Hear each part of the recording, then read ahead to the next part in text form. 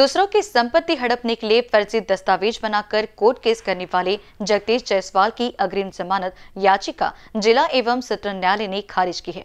उड़केश्वर थाने में करीब एक माह पहले जगदीश जायसवाल के खिलाफ प्रकरण दर्ज हुआ था। इस श्रृंखला में शिवसेना उबाटा के दीपक पोनेकर ने पत्र परिषद लेकर पीड़ितों को न्याय की मांग की है।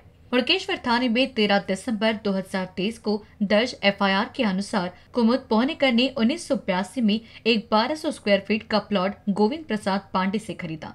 इस पर निर्माण कार्य भी किया। 2007 में जगदीश ने कुमुद से संपर्क किया और उन्हें बताया कि संजय पांडे ने आपका प्लॉट दीपक गेडने नामक व्यक्ति को बेच दिया है। मैं कोर्ट से आपका सब सेटलमेंट करवा दूँगा। रंजित साठे आपका केस लड़ेंगे और आपसे कोई पैसा भी नहीं लेंगे। इस पर कुमुद तैयार हो गए इसके बाद कुमुद से केस लड़ने के लिए कुछ कागजों पर साइन करवा लिए और कुछ साल बाद कहा कि केस हार गए हैं और अपील करने के लिए एक लाख ले लिए। जब कुमुद ने अपने वकील को लेकर कोर्ट में गई तो पता चला कि वह तो केस जीत चुकी है। 2017 में कुमुद को कोर्ट से नोटिस आया। तब पता चला कि जगदीश ने एक याचिका उसके खिलाफ ही लगा दी है, जिसमें कहा गया है कि उसे कुमुद ने प्लॉट एक लाख में जगदीश को बेचा था, जिसका पोजीशन और रजिस्ट्री अब तक नहीं करवाई है। कुमुद जब वह कोर्ट पहुँची। तब उन्हें पता चला कि जिन कागज़ पर उन्होंने साइन किए थे, उसी से बेचने के एग्रीमेंट और कब्ज पत्र बनाए हैं। उसमें कुमुद की नकली साइन थी। इसमें गवाह के भी नकली साइन निकाले। इसके बाद कुमुद ने एफआईआर दर्ज करवाई थी।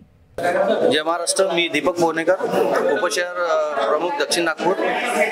आज जो आम्ही इथे पत्रकार परिषद घेण्याचा जो विषय होता, नागपूरमधला एक भूमाफिया आहे तो एक नेक्सेस बनवून टोळी बनवून ज्या प्रकारे बंडी बबली जमिनी हडपण्याचे प्रयत्न करतात किंवा जमीन हडपतात पिक्चरमध्ये दाखवतात त्याच प्रकारे आणि त्याच पॅटर्नमध्ये नागपूरमध्ये घुमाफिया जगदीश जयस्वाल नावाचा व्यक्ती आहे ज्यांनी अनेक लोकांच्या जमिनी हडपलेल्या आहे आणि त्याचे एकसारखे केसेस असे पंचावन्न केसेस त्याचे खटले जे आहे कोर्टामध्ये सुरू आहे. आणि मानकापूर सदर हुडकेश्वर या ठिकाणी त्याच्यावर गुन्हे दाखल झालेले आहे आणि तो मागच्या तेरा डिसेंबरपासून फरार आहे. शासनाला आमची हीच मागणी आहे की यात सामान्य लोकांची जीवनभराची जी कमाई आहे ती लागलेली आहे आणि हा एक व्यक्ती भूमाफिया त्या लोकांची हे जमीन हडपतो आहे तर याच्यावर कठोर ते कठोर कारवाई झाली पाहिजे आणि याला नागपूरच्या हद्दपार केलं पाहिजे अशी आमची विनंती आहे. अथवा जर असं नाही झालं तर मग आम्ही शिवसेना स्टाईलने आंदोलन करू आंदोलन करू आणि त्यांना न्याय कसा मिळवून देता येईल याचा आम्ही प्रयत्न करू. माझा आरोप त्यांच्यावर हाच आहे की त्यांनी वकिली हा जो पेशा आहे हा लोकांना न्याय मिळवून देण्यासाठी आपण वकील बनत असतो.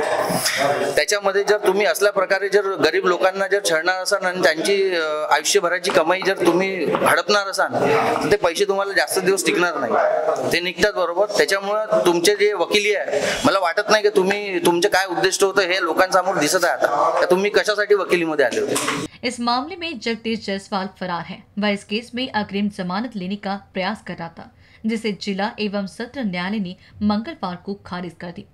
त्यांनी जसं आता आपला प्लॉट आमचा प्लॉट आता याच्यामध्ये होता. प्लॉट आम्ही अग्रीमेंट केलं होतं प्लॉटचं होतं आम्हाला रजिस्ट्री केली नव्हती त्याला ते माहीत पडलं की यांच्या प्लॉटमध्ये काही म्हणजे काही प्रॉब्लेम वगैरे आहे. तो त्या म्हणजे त्यांनी ॲड्रेस काढला आमच्या घर घरचा आणि घरी आला. घरापर्यंत आला. आणि त्यांनी मग तेव्हा आईला वगैरे सांगितलं की मी असं करतो मला माझ्या ओळखी आहे माझी जसं सेटिंग आहे माझं असं आहे. तुम्ही मला हे करा. त्यावेळेस कसं झालं होतं की आमच्याकडे फक्त ॲग्रीमेंट होता प्लॉटचा रजिस्ट्री नव्हती. आणि त्याच्यामध्ये त्यांनी सांगितलं की माझं असं असं आहे आणि आणि जो तुम्ही सारडा केली होता ना हा तेव्हा माझ्या मला तो आला नव्हता घरी वगैरे आमच्या कधी आला नाही तो. आणि त्याच्याशी कॉन्टॅक्ट पण नाही आहे त्यांनी ते त्याला लावलं नंतर. ते काही माहीत नाही आम्हाला त्याच्याबद्दल. ॲक्च्युली काय आलं होतं त्यांनी केस सांगितलं लढा लढायचं म्हणून वगैरे ते म्हणजे आम्ही हे करू ते करू जिंकून वगैरे देऊ. त्यांनी मग त्या एका स्टॅम्प पेपरवर साईन घेतल्या होत्या आईची वगैरे आई आणि वडिलांची. साईन घेतल्यानंतर त्यांनी मग ते वकालतनामावर मला वाटते पहिलं वकालतनामावर साईन घेतली होती वाटेल.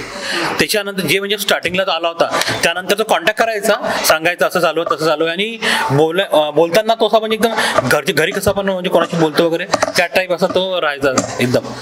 म्हणजे असं वाटलं नव्हतं की म्हणजे हा कधी असा करेल वगैरे. त्यानंतर त्यांनी मग असंच मग सांगत होता तो. पण नंतर काय आलं की दोन हजार चौदामध्ये मला दोन हजार चौदा?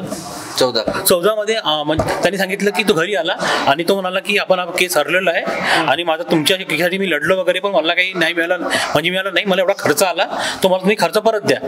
मग त्यांनी एक लाख रुपये घेतले बाबांकडून आणि तो बाबांना म्हणजे तसंच जास्त हे करायचा. माझे वडील एकदम व्ही आर सीला होते व्ही आर टीला बाबू होते पण ते काय त्यांना तो नवीन हे करायचा तो.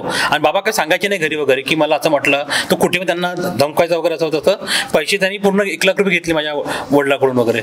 त्यानंतर मग दोन हजार सतरामध्ये आम्हाला नोटीस आला की कुमुद म्हणजे प्लॉट हा आईच्या नावाने असल्यामुळे आईच्या नावाने नोटीस आला. कुमुद पवनेकर मला रजिस्ट्री करून देत नाही प्लॉटची असं नोटीस आला.